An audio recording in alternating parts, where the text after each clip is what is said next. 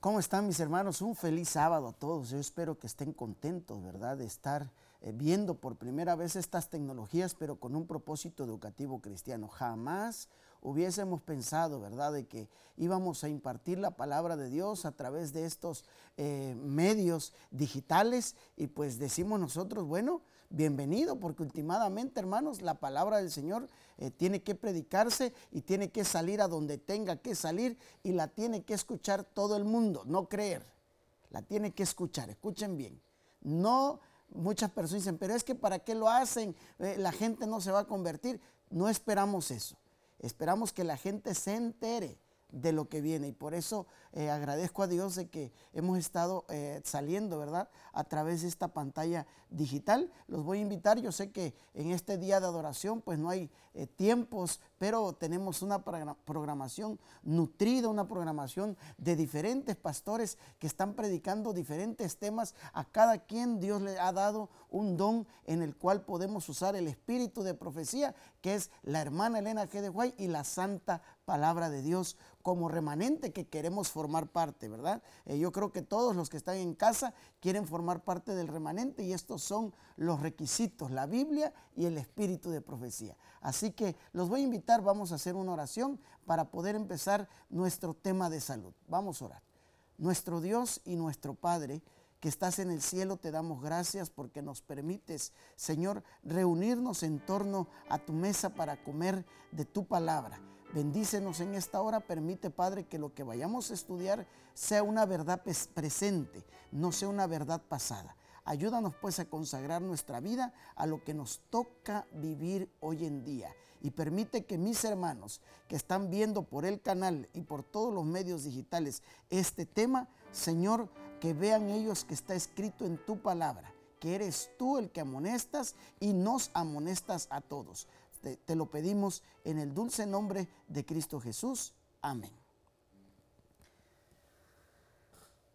Seguro estoy de que muchos de ustedes eh, eh, por medio de este canal hemos visto y nos hemos preparado en profecía. Yo he entendido, eh, me ha tocado visitar a la mayoría de las iglesias eh, del Evangelio Eterno y conozco a varios hermanos y me conocen, ¿verdad? Eh, que me ha gustado siempre predicar profecías. De hecho, a mí me fascina leer profecías porque es el testimonio de Jesús. Es cómo la gente puede convertirse y cómo puede saber que tú hablas la verdad porque prácticamente le platicas de que Cristo ha dejado todos estos acontecimientos en la palabra de Dios. Y pues obviamente eh, al estudiar profecía, le estoy hablando hace más de 17 años, ¿verdad? Que nos metimos a, predicar, este, a estudiar profecía, que por primera vez este ministerio llegó allá al sur de México, allá en las, en las montañas de México, ¿verdad? Llegó este ministerio y prácticamente su servidor pues eh, siempre le ha gustado estudiar, siempre me ha gustado eh, comparar las cosas y por supuesto también cuando sé que es verdad, lo predico, pero cuando sé que es mentira, que son eh, emociones de diferentes hermanos, pues no las predico. Predico, me gusta predicar lo que está escrito en su palabra. Y a lo largo de la profecía me di cuenta de que hay una parte en donde Satanás nos va a incautar, nos va a meter, ¿verdad?, en cintura y prácticamente es la cuestión de la salud. Y la salud, hermanos, déjenme decirles, solamente por recordarles la cita que está en eventos de los últimos días, en la página 81, dice, ya no habrá obra en la línea ministerial, sino solamente habrá obra médico misionera. Y prácticamente pues a muchos no nos quedaba claro, ¿verdad? Porque siempre decíamos, no, pero es que la obra ministerial va a seguir. Bueno, pero ya con esta crisis, ¿verdad? Con esta pandemia, pues ya quedó demostrado, ¿verdad? De que por qué es que los médicos misioneros van a poder hacer su obra, porque prácticamente la enfermedad, queridos hermanos, va a abundar y yo sé que eh, les ha llegado noticias de las famosas vacunas y muchos hermanos eh, se han acercado a mí preguntándome qué hacer. He visto publicaciones en las diferentes redes sociales. Muchos hablan, ¿verdad?, de los eh, nanómetros que nos van a meter y que el, cerebro nos los van a controlar y muchas cosas. Yo sé que la tecnología ha avanzado bastante y va a seguir avanzando. Pero siempre que estemos del lado de nuestro Dios, eso no va a afectarnos a nosotros. ¿Y por qué les digo una cosa? Porque prácticamente las vacunas, usted sabe que es la misma enfermedad. O sea, para que tú puedas generar anticuerpos, tienen que meter el mismo virus, la misma bacteria, pero tratada químicamente. O sea, ¿cómo le diré? Como, como atontada a tu cuerpo para que tu cuerpo tome ventaja y antes que se desarrolle ya lo atacó el sistema inmunológico, ¿verdad? Que es la cuestión de la sangre y la temperatura, porque la sangre se mueve a través de la temperatura y los vasos sanguíneos, ustedes saben bien que con la hidroterapia que nosotros hacemos, el frío es para cerrar los vasos y lo caliente es para abrir los vasos. Por eso en este momento que se van a levantar las restricciones, yo les pido una cosa, muchas personas dicen, bueno, pero es que yo no me quiero vacunar. Mira, aunque no te vacunes, vas a estar expuesto al virus. ¿Por qué? Porque prácticamente eh, eh, vamos a tener contacto con diferente gente.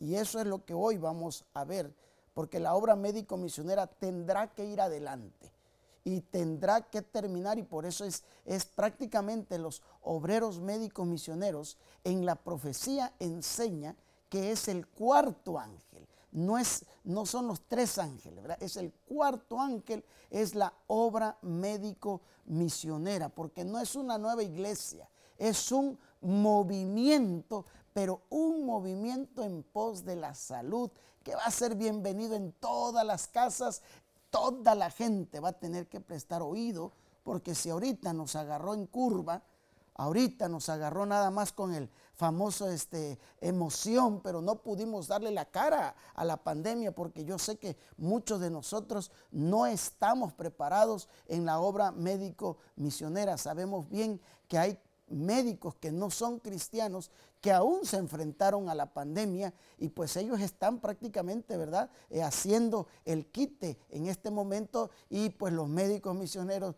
que deberían de estar al frente, pues prácticamente pues se escondieron, ¿verdad? Se escondieron y pues hasta el temor por la vida fue que entró y dice uno, bueno, pero ¿qué es el plan de Dios esto? No, mis hermanos, por eso en este momento lo único que les puedo decir en la cuestión de las vacunas, que aunque tú no te vacunes vas a estar expuesto al virus.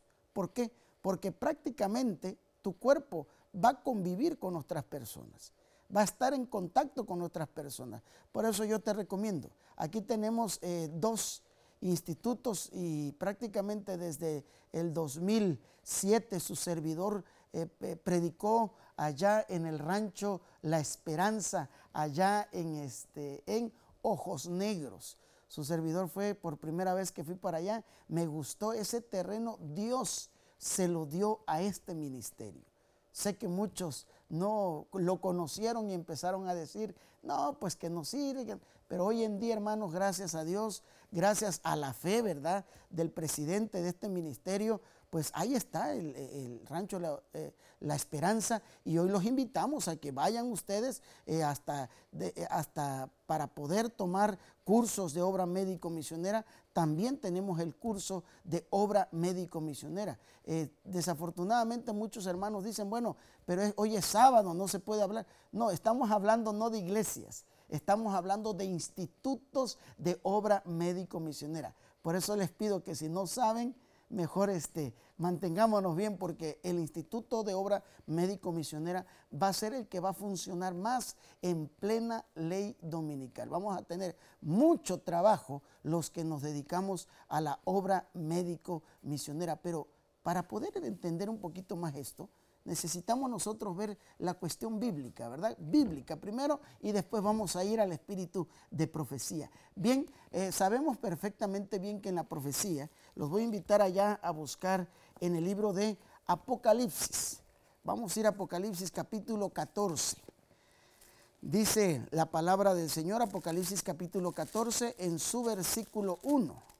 Dice ahí, entonces miré y vi al Cordero de pie en el monte Sión, y con él 144 mil que tenían el nombre de él y el de su padre escrito en su frente. ¡Wow! Aquí miramos nosotros cuántas personas, 144 mil. Y nosotros tenemos que entender primero esto. prácticamente. Que estos 144 mil están con el Cordero, ¿verdad? Pero ¿a quién se van a enfrentar? Vamos a leer Apocalipsis capítulo 17.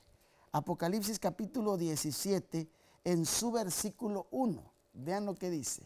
Apocalipsis capítulo 17, 1 dice.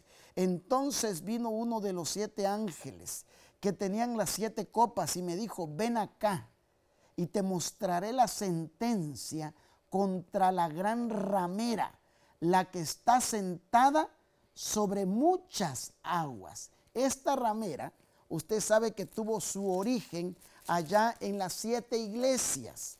Si nos vamos a las siete iglesias, vamos a darnos cuenta que en Apocalipsis capítulo 2, dice en su versículo 18, aquí se originó esta mujer ramera en el año 538. Apocalipsis capítulo 2, versículo 18, dice así, escribe el ángel de la iglesia a Tiatira, el Hijo de Dios, el que tiene los ojos como llama de fuego y pie semejante al bronce bruñido, dice esto, conozco tus obras, tu fidelidad, tu servicio y tu paciencia, y tus obras últimas mayores que las primeras. Versículo 20. Pero tengo contra ti, dice allí, que toleras a esa mujer que se llama como Jezabel, que se dice profetiza enseña y seduzca a mis siervos a fornicar y a comer cosas sacrificadas a ídolos. O sea, esta mujer de Apocalipsis 17 es la Jezabel, pero es la Jezabel simbólica. O sea, si esta es la Jezabel simbólica, los 144 mil son los Elías simbólicos, ¿verdad? Y ahora nosotros entendamos Apocalipsis capítulo 17 en su versículo 5. Dice así, y en su frente un nombre escrito, Babilonia, un misterio, perdón, Babilonia, la grande, la madre de las rameras y de las abominaciones de la tierra. Prácticamente nosotros entendemos bien que hay los mismos actores. Está Elías, está Jezabel, está su hija de Jezabel y por último, vamos a entender nosotros que esta hija de Jezabel aparece en Apocalipsis capítulo 16. Vamos a Apocalipsis capítulo 16 en su versículo eh, en su versículo 12. El sexto ángel derramó su copa sobre el gran río Éufrates y su agua se secó para preparar para los reyes que vinieran del oriente. Dice el versículo 13, y vi salir de la boca del dragón y de la boca de la bestia y de la boca del falso profeta tres espíritus a manera de ranas. Ok, ya tenemos nosotros nuestros actores finales. O sea, los 144 mil en el 14.1 que simbolizan al Elías, ¿verdad? Final, que se va a llevar el mensaje a toda nación, tribu, lengua y pueblo. La mujer Jezabel, sabemos bien que es la iglesia, ¿verdad?, que tuvo su origen en el 538 haciendo al hombre Dios, ¿verdad? Esa es la iglesia romana, ¿verdad? Allá en Europa, que está sentado sobre siete colinas, dice Apocalipsis. Esa es la mujer. Pero tiene hijas. Estas hijas son el protestantismo apóstata, los, los, el falso profeta. Estos ya no están en Roma, están aquí en Estados Unidos, acá. Es el falso profeta, el protestantismo apóstata. O sea, son tres actores que nos encontramos al final del tiempo. Bueno, pero todo esto que tiene que ver con salud. Ah, para poder entender esto, ahora tenemos que ir al origen de la profecía. Y nosotros ahora vamos a entender un poco, así como comenzamos eh, ahorita, vamos a, ver cómo fue en la antigüedad. Vamos entonces al libro Primera de Reyes. Allá en el libro Primera de Reyes, dice en su capítulo 1. Primera de Reyes capítulo 1 versículo 1 dice, después de la muerte de Acab, Moab se rebeló contra Israel, versículo 2, y Ocosías se cayó desde una ventana de su casa que estaba en Samaria, y envió mensajeros y les dijo, id, versículo 2, id y consultad, dice, ¿a quién? A Baal Zebut, Dios de Ecrón, si he de sanar de esta mi enfermedad. Versículo 3. Entonces el ángel del Señor le dijo a Elías el tisbita, levántate y sube contra los mensajeros del rey de Samaria y diles, no hay Dios en Israel que vosotros vayáis a consultar a Baal Zebud, Dios de Israel. Aquí ya tenemos a Elías el tisbita contra el rey, escuchen bien, de Israel. Y le dice, ¿A dónde vas a ir a consultar con tu enfermedad? ¿No hay acaso Dios en Israel? Y miren, este Dios de Crom se llamaba. Dice en el versículo 4, por lo tanto, así dice el Señor, del hecho en que estás, no te levantarás, sino que ciertamente morirás. Y Elías se fue. Hermanos, qué mensaje esto. ¿eh?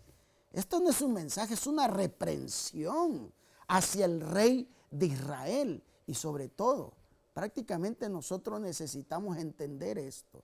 La obra del Elías final tiene que reprender a todos aquellos que están consultando a Baal Zebut, Dios de Ecrón hoy en día.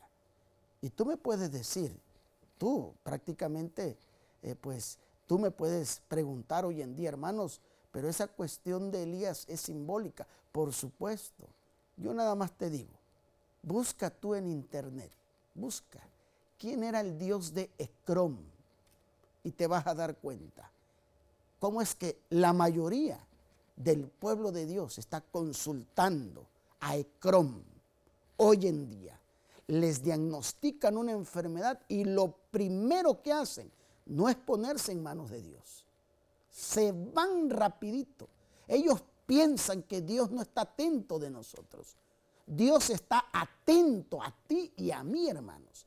Él nos conoce.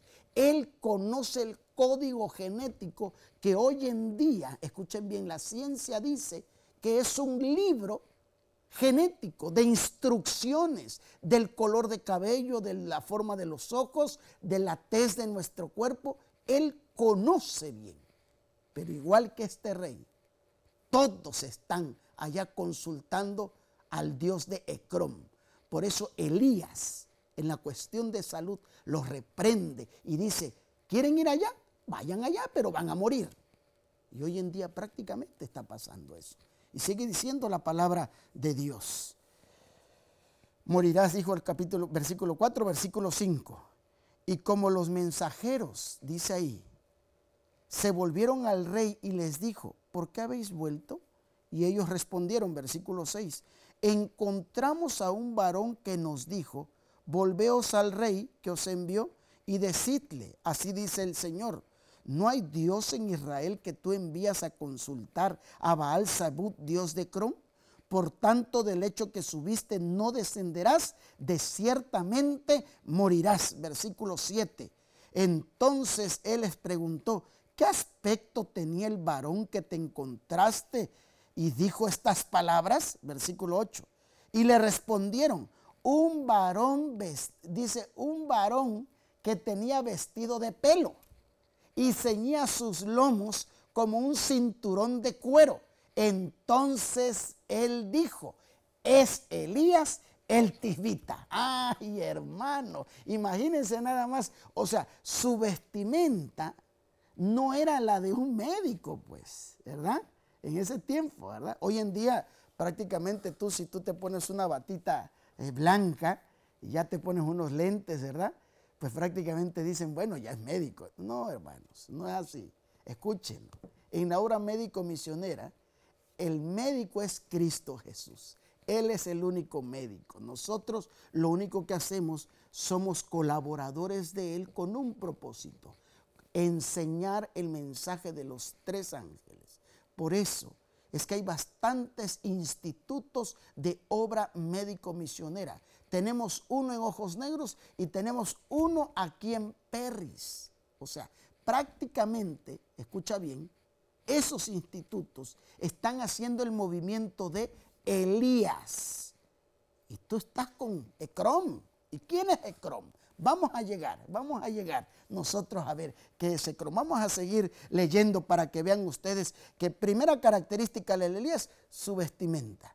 No era una vestimenta a la altura, ¿verdad? De su tiempo. Prácticamente el, este, el rey dijo, ¿cómo era? ¿Cómo estaba? Y le dijeron, pues traía un vestido de pelo con un cinto. Ah, ese Elías el así se viste él, prácticamente. Y dice ahí, eh, le respondieron, perdón, versículo 9, entonces Ocosías envió, versículo 9, envió un capitán de 50 con sus 50 que subía donde estaba sentado en la cumbre del monte y les dijo, varón de Dios, el rey ha dicho que desciendas, ¿verdad?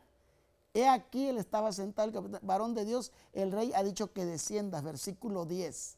Vean ahora qué contestó Elías. Y dice, Elías respondió y dijo al capitán de 50, si yo soy varón de Dios, que descienda fuego del cielo y consuma con tus 50 y descendió fuego del cielo que consumió a él y a sus 50. ¡Wow! Esto se repite por dos veces.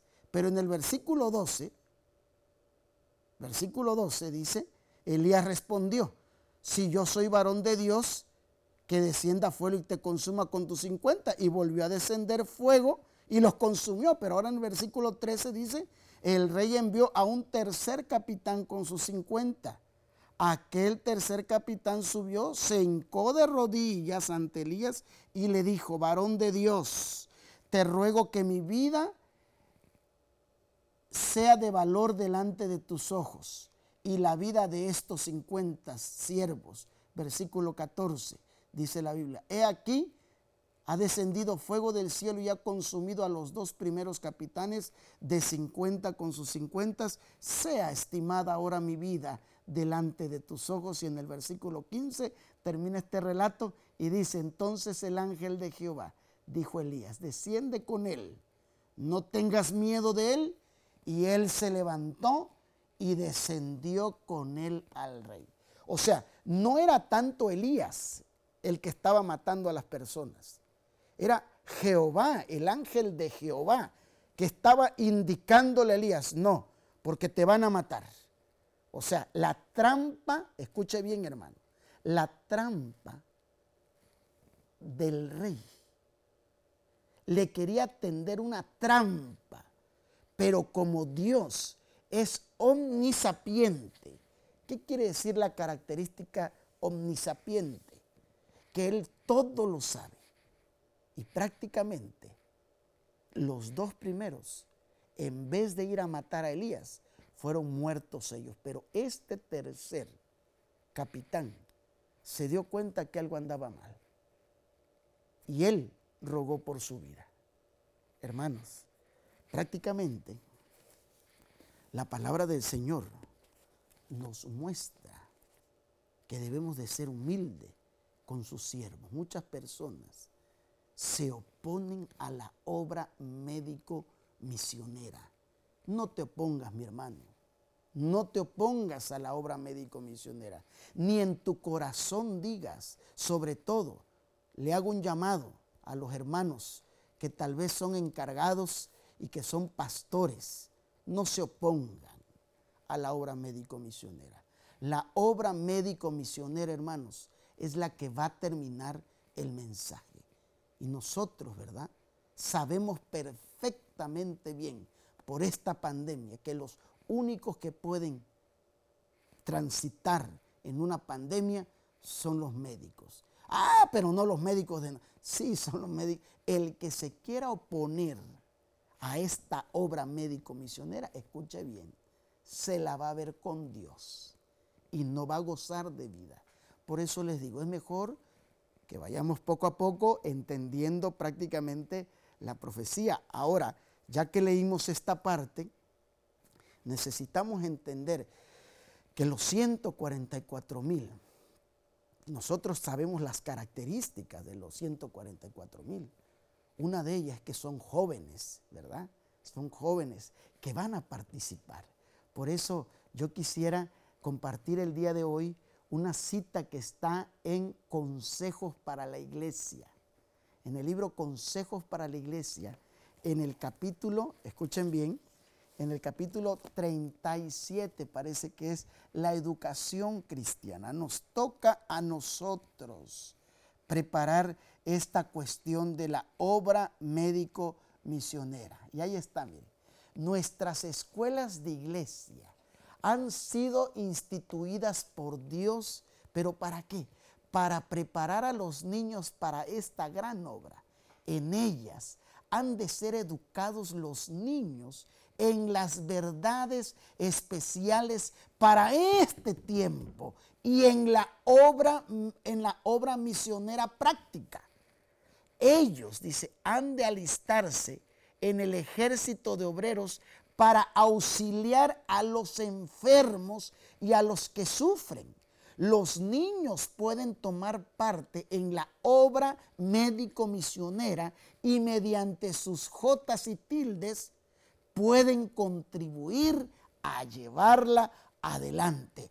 Alabado sea nuestro Padre Celestial. Miren esta preciosa cita. Dice que los niños deben de ser instruidos en aprender computación. No, no, no, no. Dice en la obra médico misionera. ¿Un niño va a ser médico misionero? Hermano, está la cita. Está la cita. Y esos niños, escuchen bien, que desde chicos entiendan la obra. Quizás tú y yo no la entendemos, hermano. Quizás tú y yo decimos, ¿el agua? O sea, con tomar agua nada más. están locos. Ayuno, una dieta. ¿Lo vas a matar de hambre? La del arroz, no, no, no, no. se desequilibra.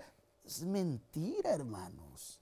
Todas esas son parte del falso profeta atacando a Elías. O sea, los protestantes apóstatas, los miembros de iglesia que están con Ecrón, no creen en esta obra médico-misionera tan sencilla de ocho remedios naturales que hasta un niño la puede hacer. ¡Wow!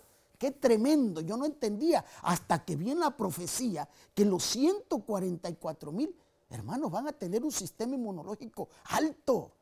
Van a ser personas que van a aguantar los cambios climáticos por las trompetas. Muchos de nosotros eh, hemos escuchado las trompetas de los meteoritos, de los asteroides, de los volcanes y nos asustamos. Pero ¿qué no te das cuenta que el cuerpo humano va a sufrir también? ¿No te das cuenta que tu problema de salud, la presión arterial alta, la diabetes, el colesterol que tú tienes, Imagínate nada más el ver ese gran asteroide que va a caer en el mar. ¿Qué impacto va a tener? ¿Tú crees que el planeta Tierra no se va a mover? Si el espíritu de profecía dice en eventos de los últimos días que va a haber un terremoto global cuando se dicte la ley dominical. ¿Tú crees que no van a salir materiales metíficos, bacterias y virus, no van a agarrar fuerza? Hoy más que nunca necesitamos entender que el brazo de la obra es la obra médico-misionera, la reforma pro salud en cuidado del cuerpo. Y ahora entiendo que la hermana Juay nos mandó a educar desde niños en la obra médico-misionera, mi hermano. Un niño no te va a aprender de fórmulas. Un niño no te va a aprender eh, eh, del balanceo de ecuaciones por tanteo o en la química. Un niño te va a aprender del ejercicio, de la confianza en Dios, de una dieta equilibrada, de eh, temperancia, de aire fresco, de la importancia del agua, de ocho remedios naturales, hermanos. Por eso la sierva del Señor, mediante esa cita, dice que tenemos que educar a nuestros niños. Pero prácticamente el falso profeta está atacando ahorita. No está atacando Jezabel, porque Jezabel es la que trae los remedios, ¿verdad? Alópatas, como le decimos, porque hay una cita también en el espíritu de profecía que son los masones los que trajeron esas sustancias eh, dañinas al cuerpo. Ese, esa cita, yo nada más te voy a decirla, quizás la lea yo más al rato, está en el libro Eventos del Tiempo Final. Ahí está la cita de lo alópata, de ese medicamento que te dan, ¿verdad? Y te dicen, si usted lo deja de tomar, se muere. Efectivamente, así es, eso es cierto. Ya lo leímos en la Biblia. Del hecho que subiste no, no vas a subir y vas a morir. Así se lo dijo Dios Elías. Pero prácticamente, hermanos, este, este tema de salud no lleva otro propósito, lleva un propósito de convencerte que te tienes que mover, que ahorita vamos a ver cómo está tu cuerpo. A ver, muchas personas me han dicho, ay no, pero es que es muy fuerte, la predicación de salud no es fuerte. Ahorita te quiero ver cuando salgas. Vas a salir, vas a salir con tus cubrebocas, vas a agarrar a la gente. Sí, pero prácticamente yo te pregunto una cosa, te pregunto, ¿tu cuerpo está capacitado para enfrentar ese virus? ¿O todavía le echas quesito a la pizza? Todavía te echas un poquito de lechita, ¿verdad? Pues es calientita, pues que, ¿cómo está tu cuerpo? ¿Está con tu índice de masa corporal bien? Nosotros tenemos que entender eso. Y por eso prácticamente la obra médico-misionera va a salir adelante y ya vimos el ejemplo de Elías, que prácticamente es un mensaje de amonestación. Pero no quisiera yo que nada más nos quedáramos con la reprensión. Allí en el libro de, Reyes dice, en Primera de Reyes, perdón, segundo, en la Segunda de Reyes, en su capítulo 20, vean nada más. Segunda de Reyes, en su capítulo 20, dice, en su versículo 1, ahora vean nada más. Segunda de Reyes, capítulo 20, versículo 1 dice, en aquellos días, Ezequías enfermó de muerte. Y vino a él el profeta Isaías, hijo de Amós, y le dijo, Jehová dice así, ordena tu casa, porque morirás y no vivirás. Versículo 2. Entonces él volvió su rostro a la pared y oró a Jehová y dijo, versículo 3, Señor, te ruego, oh Jehová, te ruego que hagas memoria de que han dado delante de ti en verdad y con íntegro corazón y que he hecho las cosas que te agradan. Y lloró Ezequías con gran lloro. Versículo 4. Y antes, dice ahí, y antes que Isaías saliese hasta la mitad del patio, vino palabra de Jehová a Isaías diciendo, vuélvete y di a Ezequías, príncipe de mi pueblo, así dice Jehová, el Dios de David, tu padre. Yo he oído tu oración, he visto tus lágrimas, he aquí yo te sano. Al tercer día subirás a la casa de Jehová. Versículo 6 agregaré 15 años y te libraré a ti y a esta ciudad del mano del rey de Asiria y ampararé esta ciudad por amor a mí mismo y por amor a David mi siervo. Versículo 7. Y agregó Isaías, y dijo Isaías, toma este omeprazol. No, no, no dice así toma masa de higos y tomándola, la pusieron sobre la llaga y qué cosa? Y sanó. Alabado sea nuestro Padre Celestial. Imagínense nada más esta escena. Todo lo contrario a la escena que acabamos de leer allá en, Segunda de Reyes capítulo 1. Todo lo contrario. Todo lo contrario. En esta está un remedio natural sencillo. Mire, nada más. ¿Cómo le llamaría hoy la ciencia a esta pequeña porción, a esta receta que Dios le dio? Miren nada más aquí en el libro Eventos del Tiempo Final. En el capítulo El régimen alimenticio. Es un libro, escuchen bien, que no lo van a encontrar, eh, yo creo que el ministerio lo tiene. Si usted gusta, eh, se lo podemos este, conseguir, nos puede llamar, pero si no, descárguelo, está gratuito en internet. Es el libro Eventos del Tiempo Final. Y allí hay un capítulo que se llama El régimen alimenticio en la página 51, dice. Dice ahí, el Señor bendecirá al médico que dependiendo de los métodos naturales trate de ayudar cada función de la maquinaria humana para que, que ésta, por sus propios medios, cumpla el propósito del Señor y restaure a sí misma y funcione correctamente. ¿Quién es el que cura? No es el médico, es Dios. Va a ayudarlo siempre y cuando aplique un remedio natural. No un remedio, escúchenlo bien, científico. Remedio natural. ¿Y cuál es el remedio científico? Es en donde se alaba al hombre. Ay, gracias al hermano Andrade. No, no, no, no, no, yo aquí, hermanitos, el único que sana es Cristo Jesús. Si Él quiere y si no quiere, no sana también. Porque así es Él. Él conoce el propósito para qué queremos la salud. Acuérdense ustedes, hay un ejemplo claro de Pablo. A Pablo le picó una serpiente y no murió. Imagínense el veneno de la serpiente. Pero por otro lado, le rogaba a Cristo que lo sanara, ¿verdad? De la enfermedad que tenía y le dijo, bástate mi gracia. Así quiero que estés. O sea, estoy, pero ¿cómo? Prácticamente no permitió que lo matara la serpiente, pero tampoco. ¿Por qué? Porque él sabía cómo era Pablo. Y Pablo era de un ego grande, usted sabe. Él era combativo, ¿verdad? Y, y por eso Dios le dijo, así te vas a mantener tranquilito, porque si te sano y capaz te. Y por eso muchos de nosotros nos viene la reprensión en la carne, para que no nos, porque si así nos creemos tanto, ahora imagínate sano. Por eso aprendamos nosotros los remedios de Jehová. Pero miren esta otra cita que está ahí en la página 51 del régimen alimenticio del libro Eventos del Tiempo Final. Dice, doctor Kellogg's, porque esta fue la apostasía alfa. Y ahí están todos metidos ahorita en la alopatía. No lo digo yo, lo dice el espíritu de profecía. Escúchenlo bien. Todos están metidos en la alopatía.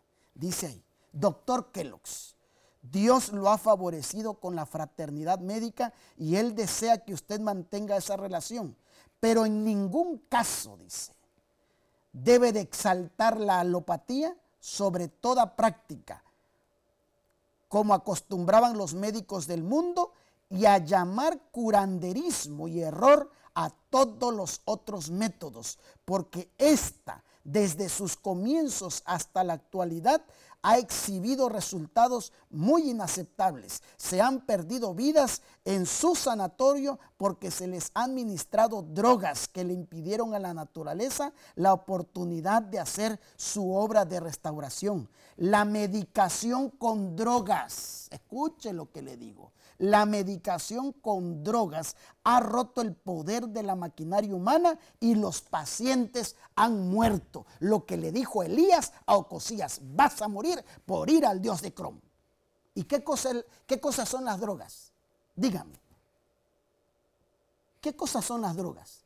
Son hierbas, hermano. Son hierbas las drogas. La cocaína es una mata de coca. La marihuana es una hierba verde. De allí se extraen todos, y ahorita pues la ciencia ha avanzado, ¿verdad? Sacan veneno de no sé qué, sacan veneno del otro, células madres de los puercos, y que hay que inyectarle, hay que hacerle un implante. Uy, uy, uy, hermanos. Pero los ocho remedios naturales tan sencillos. Ah, no, es que yo, dieta, todos los que tienen colesterol alto les gusta el huevo y les gusta el queso y la leche. Graserío que se meta en la sangre, prácticamente. ¿Y, cómo se va a curar? Pues en una dieta equilibrada. Ya no come usted carne, deje los huevos y deje la leche. Escuchen, tenemos que entender a Cristo. Y esos Dios de Ecrón Dice, dice la sierva del Señor en el, siguiente eh, capítulo. Otros dice en la página 52, han llevado las drogas consigo quitándole la eficacia a los remedios simples del cual Dios dispone en la naturaleza para restaurar el sistema. Los estudiantes en su institución, escúchelo bien, no deben ser educados para creer en que las drogas son una necesidad. Escúchenlo.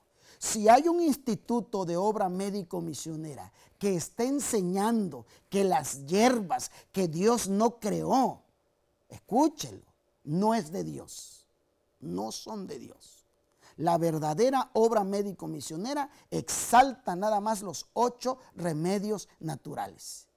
Y el Espíritu Santo ha dejado escrito para nuestro tiempo que no se le debe de enseñar a los estudiantes que son necesarios. Yo he escuchado comentarios que dicen, bueno, pero 50 y 50 para que se apoyen. Nada de eso, mi hermano. O somos de Dios o no somos de Dios. O le quiero orar a Dios por mi enfermedad o no le oro a Dios por mi enfermedad. ¿Cuántas veces tú has llorado en la oración por tu salud? Ah, porque la conciencia te refrende, ¿verdad? Porque dice, ah, no, pues yo también me porto mal, todavía como cosas que no debo de comer, no hago ejercicio, no camino, no tomo agua, soy intemperante, como lo que sea, a la hora que sea. No, pero dicen, hermano, que ahorita hasta cinco veces podemos comer. ¿Qué? Imagínate el ácido gástrico que va a estar produciendo con cinco veces. Pero es que así comen los bebés. Por supuesto, los bebés, porque están creciendo. Pero nosotros que ya estamos por los 50 años, nosotros no podemos comer cinco veces.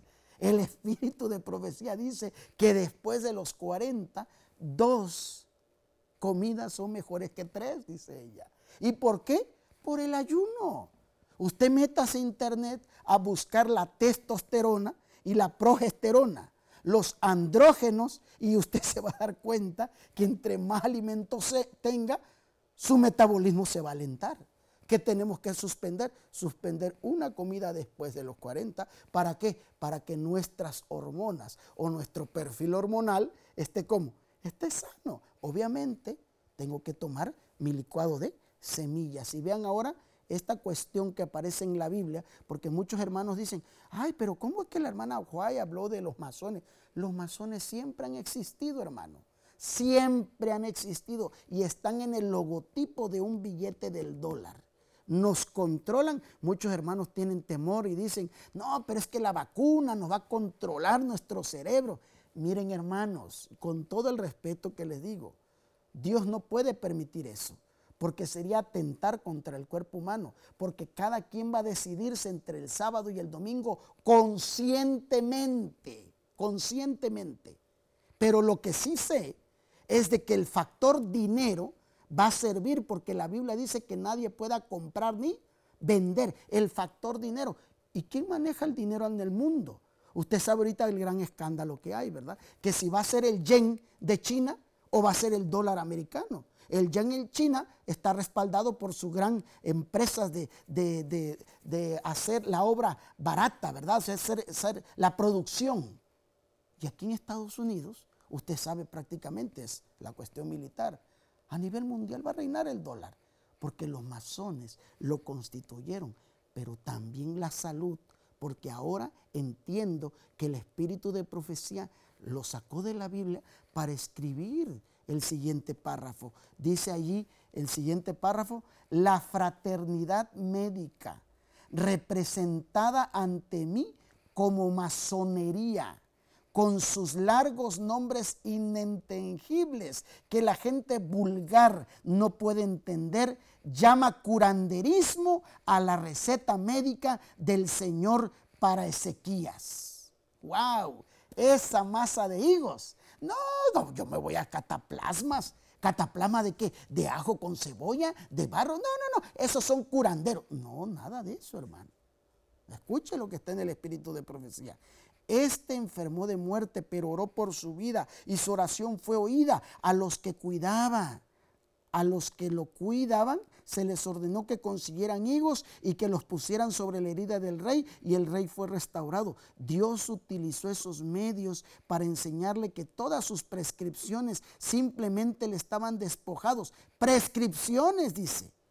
Simplemente lo estaban despojando al rey del poder para recuperarse y superar la enfermedad. Mientras ellos siguieran con esos tratamientos, no podrían salvarle la vida. El Señor distrajo sus mentes de sus porciones mágicas y les mostró un simple remedio de la naturaleza. En estas instrucciones hay lecciones para todos. Punto. Y ahora viene la cita que leímos allá. Los jóvenes que van para obtener una educación que según piensan ellos los exaltará como eminencias en el tratamiento de enfermedades con drogas, descubrirán que éstas producen pérdidas de vida en lugar de la restauración de salud y de la fuerza. Debemos abandonar las drogas por completo. Alabado sea Dios. Yo estoy con Dios. ¿Por qué? Por algo Dios me permitió estudiar lo que estudié. Las licenciaturas que tengo ahora me permite ver claramente que el espíritu de profecía, escuchen bien, a mí me ha gustado y pues durante casi siete años estuve pendiente de las ciencias naturales y ahora entiendo por qué Dios trabaja con remedios naturales, porque sé que las drogas, todas esas hierbas híbridas, así como hay animales de amalgamaciones, ¿verdad? Como por ejemplo la mula, ¿verdad? Que es una amalgamación entre dos animales que no se deberían de procrear. Sale y es híbrida, ya no da. Así las hierbas.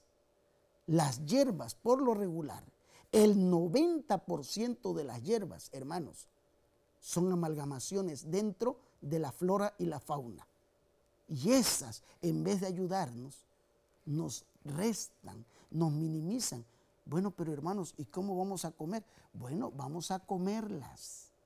No vamos a comer una ensalada de marihuana, no vamos a comer una ensalada de cocaína, no, por supuesto que no.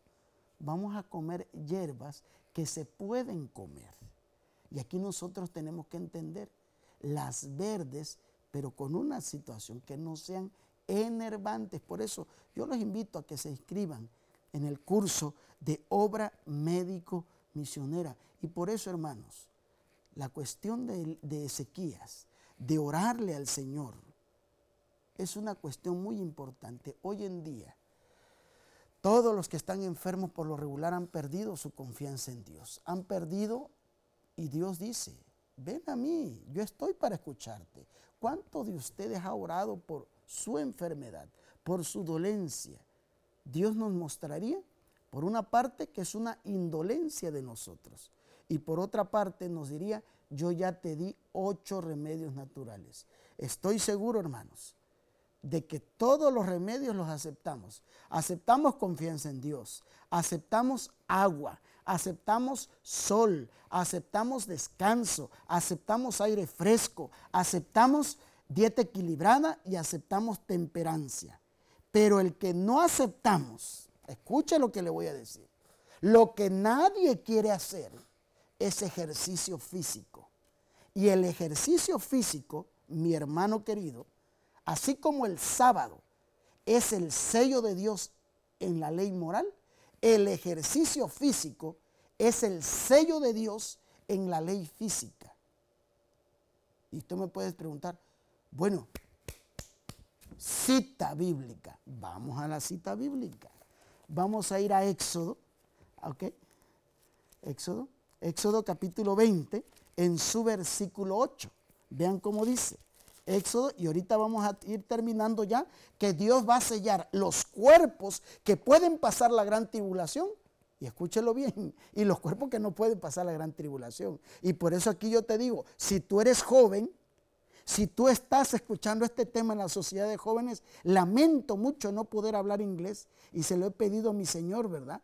Que alguien de ustedes jóvenes que Dios les toque su corazón porque van a ser los jóvenes que hablan inglés y puedan predicar los temas en inglés para que toda esta juventud que sus padres los trajeron a vivir acá en la bestia y que ahora ellos están rebeldes porque la bestia los educó, Dios quiera que les toque el corazón y los pueda hacer humildes y que puedan entender porque aquí lo, lo, lo que pasa rápido en este país, que ya el muchacho se siente autosuficiente que no depende ni de los padres y que no necesita a los padres para nada.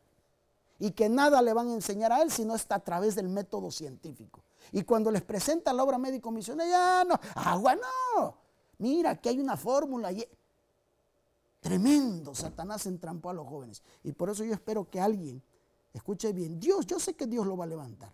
Vamos a ir a Éxodo capítulo 20. En su versículo 8 dice ahí, acuérdate de este día, ¿verdad? Acuérdate del sábado para santificarlo. Pero vean en el versículo 9, ¿qué dice? Seis días, ¿qué cosa? Trabajarás. ¿Cuántos? Seis días trabajarás y harás toda tu obra, mas el séptimo día es reposo para Jehová tu Dios. No hagas en él obra alguna, tú ni tu hijo, ni tu hija, ni tu siervo, ni tu creda, ni tu bestia, ni tu extranjero que está dentro de tus puertas. O sea, sí es cierto, el mandamiento del sábado es el descanso, pero ¿cómo vas a valorar el descanso si no trabajas? Pero tú me puedes decir, hermano, ahorita he estado trabajando desde casa. Todo el día estoy enfrente de la computadora. No, ese trabajo no era. Cuando Dios proclamó su ley en el Sinaí, escuchen, todos estos trabajos que tenemos que la Babilonia nos ha dado no eran trabajos. El trabajo era físico. El trabajo era que movieras los hombros, que cultivabas la tierra. Y por eso la hermana Juay dice que los que quieren estar en el tiempo de angustia van a cultivar la tierra para perfeccionar su carácter. Dios santo, ¿y qué tiene que ver eso? Ah, yo te pregunto, ¿tú sabes qué cosa es el carácter? El carácter, dice el espíritu de profecía, allí en el libro Maranata, en el capítulo eh, este, La santificación el santuario, dice que el carácter está formado por nuestros pensamientos y nuestros sentimientos. Así está formado el carácter humano, dice el espíritu de profecía. Y escúchalo bien, mi hermano, escúchalo bien. Cuando tú agarras y empiezas a sudar con el ejercicio físico, hermano, empiezas a sacar toxinas. Esos seis días de trabajo que marca el mandamiento de Dios, escúchalo bien, es el ejercicio físico que ahora en uno de los remedios naturales Dios te lo muestra a ti. Por eso siempre les digo, los 144 mil hermanos son los jóvenes que van a aprender la obra médico-misionera. Ellos desde chicos la van a practicar.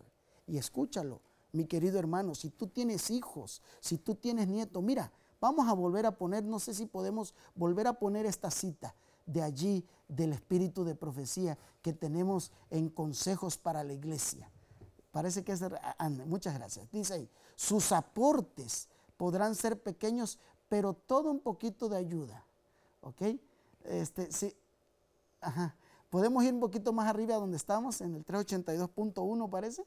Ándele.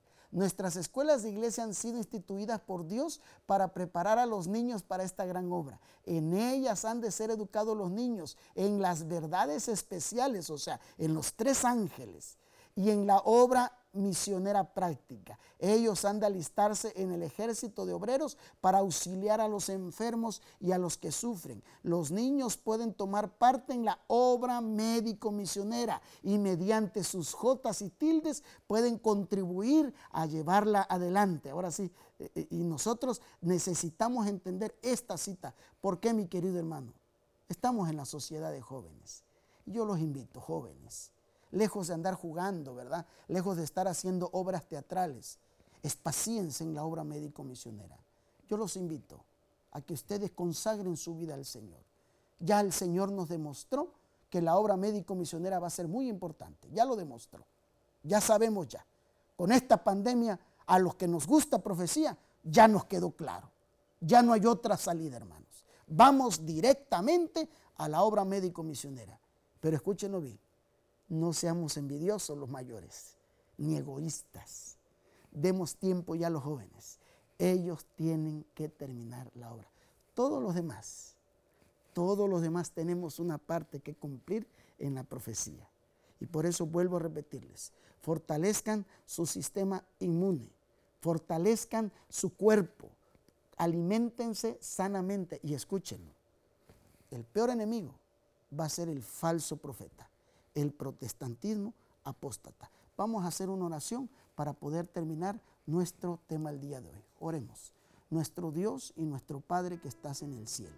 En tus manos nos encomendamos y comendamos, Señor, a nuestros hijos, a los nietos, a todo lo que nos hayas dado. Señor, por favor, permítenos ser un vaso receptor de tu verdad y poderla compartir y que los jóvenes sean preparados en la obra médico misionera. Te lo pedimos y te lo suplicamos en el nombre de Cristo Jesús. Amén. Dios les quiera bendecir hoy y siempre, hermanos.